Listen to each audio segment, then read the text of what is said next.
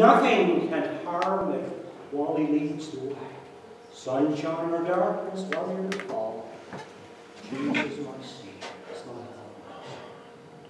As we pray that prayer this evening, let's stand together as a church and sing that beautiful chorus evening.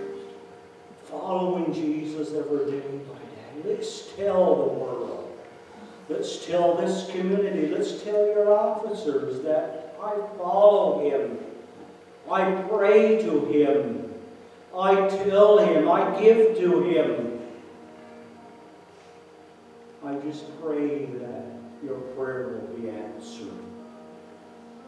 May God bless you as we stand together and sing following